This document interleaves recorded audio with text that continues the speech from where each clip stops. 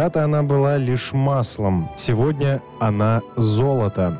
Нефть – главная полезная ископаемая 20 и начала 21 веков. Человечество зависит от нее как ни от чего другого. Ее запасы конечны. Мы решили выяснить, где в неизвестной Беларуси текут черные реки, а главное, кто и как до них добирается. Максим Немчинов, эколог-перфекционист. До такой степени эколог, что готов бороться за права каждой твари земной. До такой степени перфекционист, что с радостью убрал бы из трофической пирамиды несколько звеньев. И лишь осознание хрупкости мироздания останавливает ученого от осуществления мечт. Доброго всем дня! Рад приветствовать всех и каждого, кто сможет отгадать мою загадку. Она – горное масло – она главная полезная ископаемая 20 и начала 21 века. Она настолько полезна и настолько ископаема, что ее даже прозвали черным золотом.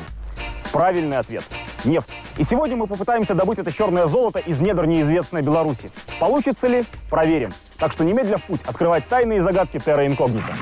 Ну, нефть – это органическое соединение, которое находится в недрах и является основным из э, топливных ресурсов в мире, так и в нашей стране. Есть две гипотезы о происхождении нефти. Первая органическая гипотеза наиболее вероятна и наиболее применима в настоящее время, из которой следует, что нефть образуется из органических соединений, из органики, э, в результате процессов, которые происходят в недрах, неорганическая гипотеза происхождения нефти предполагает, что нефть образуется из флюидов, которые поднимаются из недр по разломам и накапливаются в слоях Земли. Наверное, и первая, и вторая гипотеза имеет право на жизнь.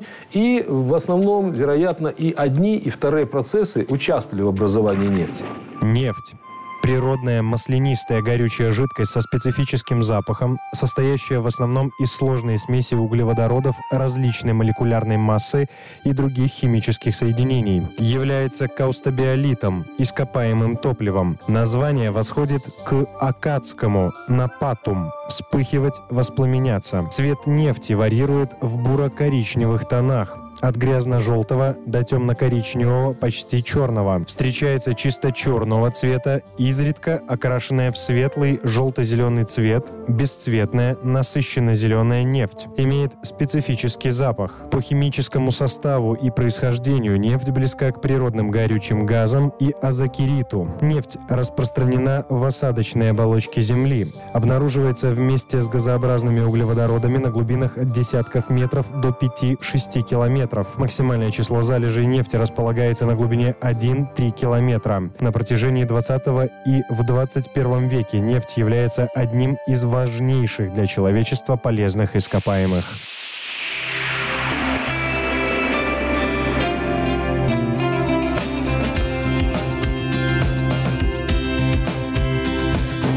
Поисках рек черного золота мы забрались в Светлогорский район Гомельской области, самый юг неизвестной Беларуси, на перекрестке дорог Терра Инкогнита. И дорожные знаки нам подсказывают правильное направление – Судовицкое месторождение. Видимо, нам сюда.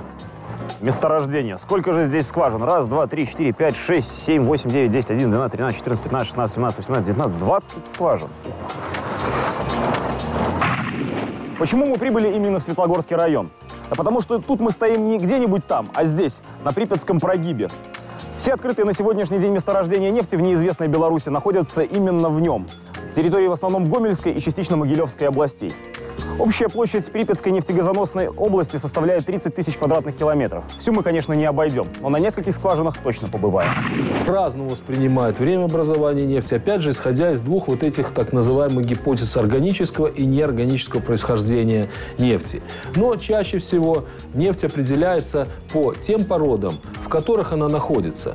А, ну, в Беларуси это девонские отложения, а, в других осадочных бассейнах иногда это и более молодые отложения. Ну, это можно говорить о 500 миллионах, 200 миллионах лет. Это возраст тех отложений, в которых встречается нефть. Но опять же говорить, что это соответствует возрасту образования нефти, ну, не было бы научно так обосновано. Изначально на 1 января 1963 года извлекаемые запасы нефти в Беларуси были оценены в 362 миллиона тонн. В промышленные категории перевели 44,5% из этого количества. Всего было открыто 55 месторождений, из которых 30 ныне разрабатываются, 20 находятся в разведке, опять законсервированы. Именно на те 20, которые разведываются, мы сегодня и отправимся. А на 30, которые разрабатываются, еще побываем.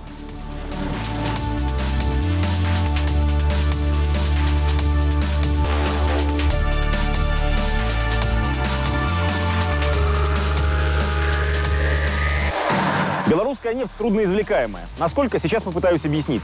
Глубина залегания разведанных залежей нефти варьирует от 1,6 километра на Александровском месторождении до 4,6 на Судовицком. А мы сегодня попытаемся разведать нефть именно на Судовицком месторождении. Здравствуйте, Александр Лукич. Здравствуйте. Расскажите, пожалуйста, где здесь нефть?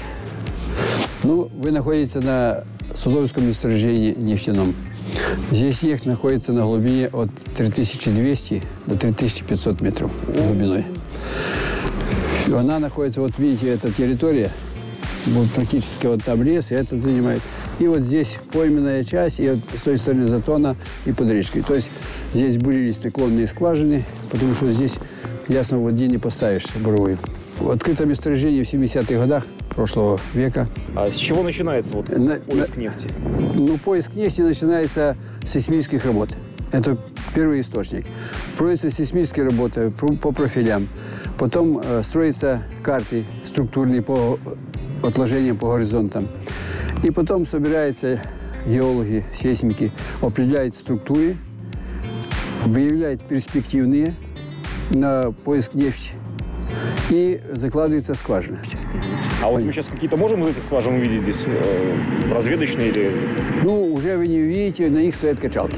Это, уже, же- это же было очень давно. А какого вообще, насколько хороша нефть, которую здесь можно найти?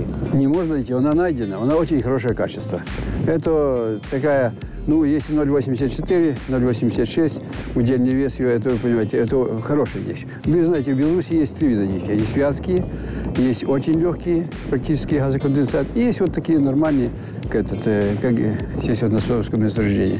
То есть это нормальная высококачественная нефть. А вот в Беларуси на сегодняшний день извлекаемой нефти примерно 32-36 миллионов тонн осталось. Это без того, что мы ее каждый год бурим, восполняем. И я еще хочу сказать, что э, Беларуснефть добывает около 1 миллион 600 тысяч тонн нефти в год. И мы, в принципе, и вместе с ним мы ее восполняем. То есть э, разведаем такое количество. Надо бы с геологоразведкой познакомиться поближе с буднями работы этих людей. А можем мы это сделать? Это без проблем. Припятский прогиб. Нефтегазоносная область на юго-востоке Беларуси. Размеры 180 на 130 километров. Площадь около 30 тысяч квадратных километров. Глубина залегания фундамента от полутора до 6 тысяч метров. 1960-е годы. Открыто более 20 месторождений нефти и газа. Начальные извлекаемые ресурсы нефти оценены более чем в 350 миллионов тонн. Промышленная территория переведено 46% ресурсов.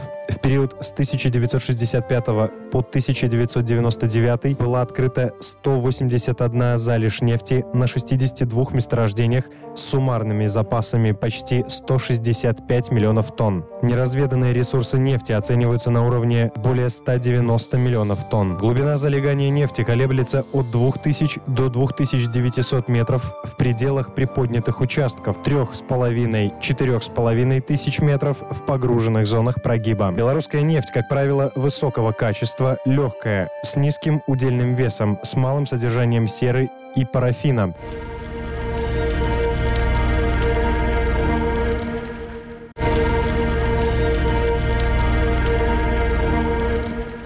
В Беларуси э, повезло так, э, что на нашей территории находится осадочный бассейн, так называемый, крупный осадочный бассейн на юге территории Беларуси, так называемый Припятский прогиб, который был образован в Девонское время.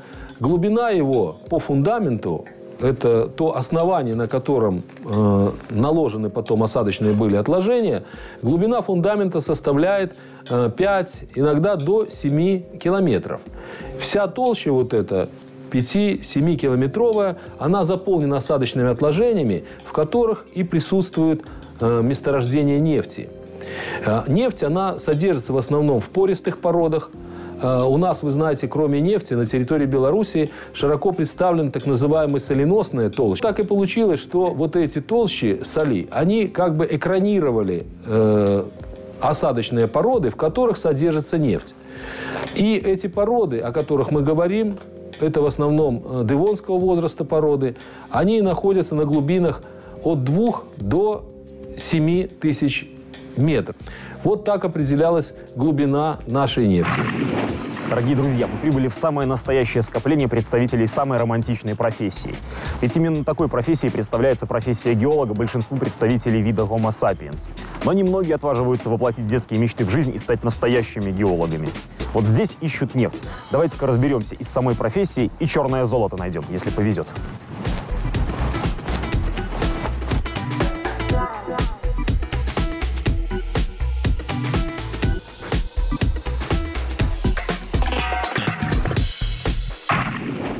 А сейчас познакомимся с тем, как живут представители самой романтичной профессии. Приветствую, Евгений. Здравствуй. Как можно посмотреть, как живут геологи? Конечно. Пойдем глянем.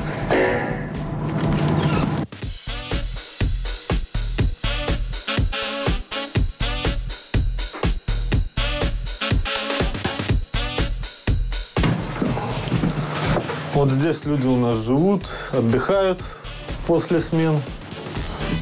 И сколько здесь человек помещается? 8 человек, но стандартная вахта это 7 человек.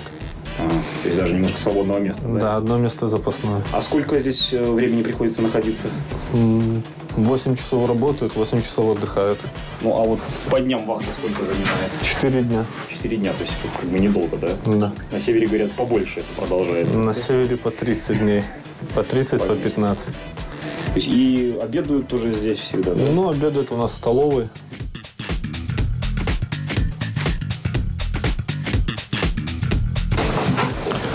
Вот здесь вахты рабочие и питаются. Здесь они могут заказать завтрак, обед и ужин. Эх, А я думал, у костра, как же романтика. Такого нет. А вкусно кормят? Очень. Это здорово. Идем дальше.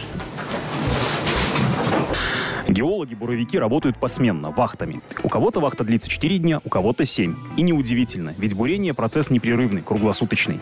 Белорусская нефть относится к трудноизвлекаемым. Она залегает на глубине от 1 километра и больше. Здесь бурят скважину на 3 километра. Пора бы посмотреть, как это происходит.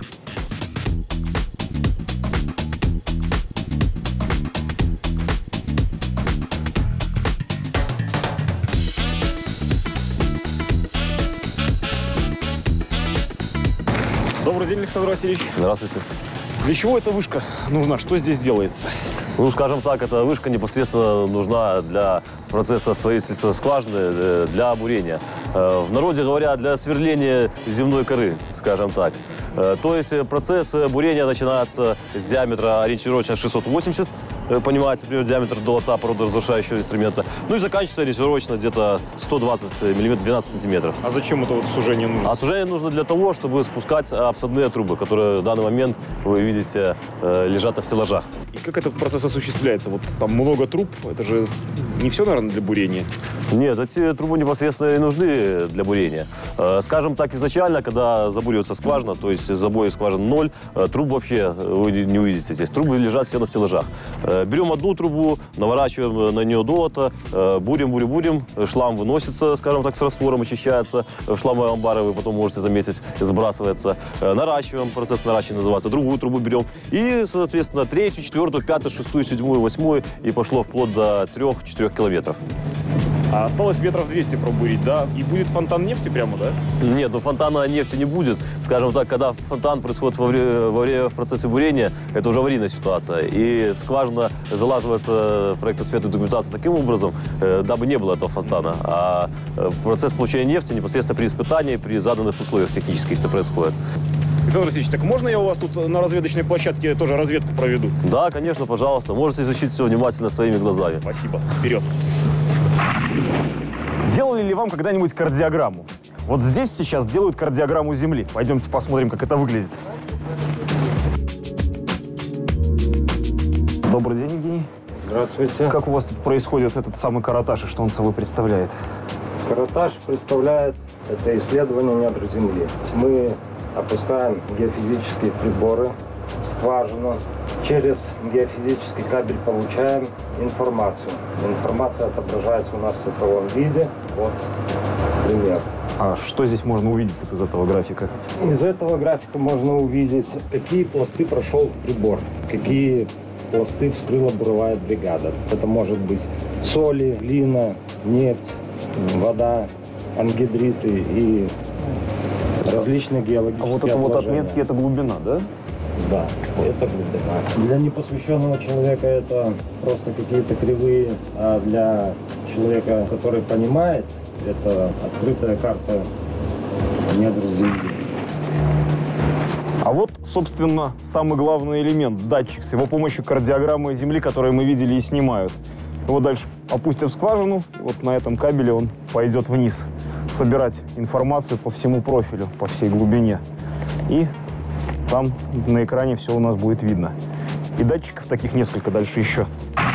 Первые месторождения нефти так и были открыты. Сначала были проведены геофизические так называемые исследования, которые позволили определить глубину осадочного бассейна. С помощью геофизических исследований была определена глубина осадочного бассейна и были выделены те нефтеперспективные толщи, которые и затем были э, заверены бурением, и в этих скважинах была выявлена нефть, были выявлены притоки нефти, и эти методы, я имею в виду и геофизические, и бурение, применяются и в настоящее время, хотя, конечно, сейчас применяются и многие другие геофизические методы, э, не только методы непосредственного изучения пластов, но и анализ флюидов, которые находятся и в скважинах, и даже на поверхности Земли, дают возможность прогнозировать месторождение нефти. А вот пока нет бурения, мы можем полюбоваться еще вот на этот прибор. Называется бур, или, как здесь говорят, долото. Э, Собственно, вот это самая главная рабочая часть всей машины. Опускается на глубину и вбуравливается в породу. А все вот эти трубочки пристраиваются потом сверху, навинчиваются. Получается такой огромный трубопровод. Да, внушает.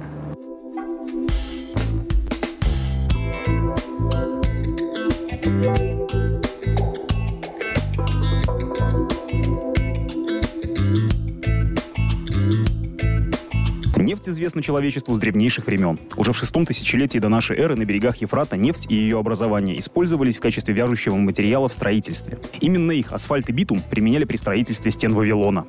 Этот факт зафиксировал отец истории Геродот. По его версии, нефть добывали из известного колодца, расположенного недалеко от Ардерики, селения у Ефрата.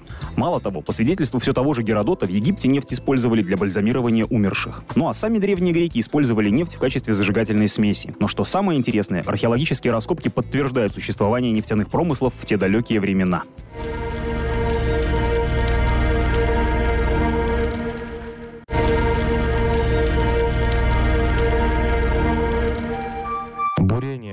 Процесс разрушения горных пород с помощью специальной техники, бурового оборудования. Различают три вида бурения. Вертикальное бурение, наклонно направленное и горизонтальное бурение. Бурение скважин – это процесс сооружения направленной цилиндрической горной выработки в земле, диаметр которой мал по сравнению с ее длиной по стволу, без доступа человека на забой. Начало скважины на поверхности земли называют устьем, дно – забоем, а стенки скважины образуют ее ствол.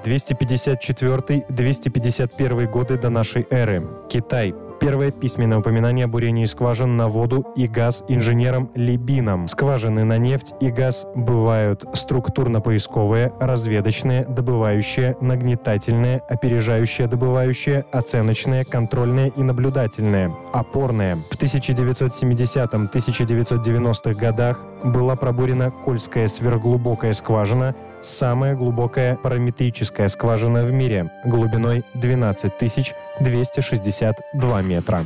Как давно эту скважину бурят? С начала августа прошлого года начали и к концу апреля должны ее закончить. То есть уже скоро ожидается, что нефть будет, да? Ожидается, Через да. пару месяцев. А какого цвета вот, скорее всего, покажется? Ну, я думаю, зеленого будет. Да. Да, хорошего качества. Зеленый это хорошо. А пока в работе наметился перерыв, мы можем подняться и с высоты 54 метра полюбоваться на судовицкое месторождение. В древности нефть собирали прямо с поверхности, но вот китайцы более двух тысяч лет назад уже бурили небольшие скважины при помощи стволов бамбука с металлическим наконечником. Изначально скважины предназначались для добычи соленой воды, из которой извлекалась соль. Но при бурении на большую глубину из скважин добывали нефть и газ. Неизвестно, нашла ли нефть применение в Древнем Китае. Известно только, что газ поджигали для выпаривания воды и извлечения соли. Подниматься высоко поможем оператору. Давай только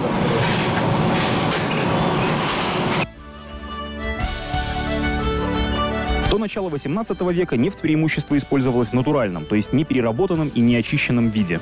Но в 1855 году в США некто химик Силиман выделил из нефти керосин, осветительное масло. Так начали перерабатывать нефть, а через каких-то пару десятилетий и первую промышленную скважину пробурили.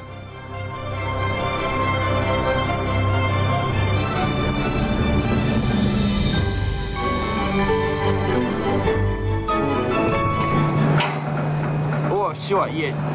Все. Вот она, вершина Припятского нефтегазоносного месторождения. Нефть обнаруживается вместе с газообразными углеводородами на глубинах от десятков метров до 5-6 километров. Наша нефть залегает глубоко – 2800-3180 метров. Только представьте себе, глубина этой скважины около 3 километров. На такой глубине течет та самая черная река, поставляющая нам горное масло. Любопытно, что скважина на буровой вышке, в которой мы находимся, не идет все время вниз. Вниз вертикально она идет только на полтора километра. Потом поворачивает под углом и уходит вот в том направлении. То есть нефть добывается в полукилометре отсюда. Вот отсюда хорошо видно, сколько площадок, сколько стоит насосных станций. Не вся нефть, которую разведали, добывается. Доля добываемой нефти 40%. 60% остается на хранении матушки земле. Так, в целом и в общем. Ныне разведано доступных запасов 72 миллиона тонн. Этого хватит при нынешних темпах эксплуатации еще на 36 лет. Нефтяники будут обеспечены работой. Кроме того, продолжают разведываться новые месторождения. Некоторые остаются на хранение на крайне долго. Вот видно, что на тех двух даже нету насосных станций.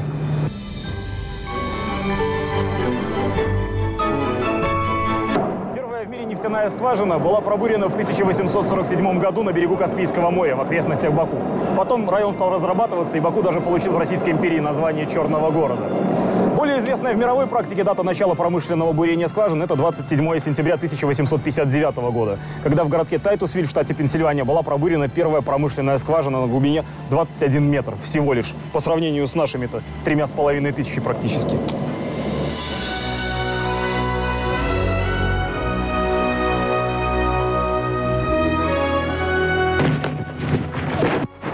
Что, мы вдоволь налюбовались на белорусскую нефтяную долину. Пора поближе к нефти возвращаться. Вперед и вниз.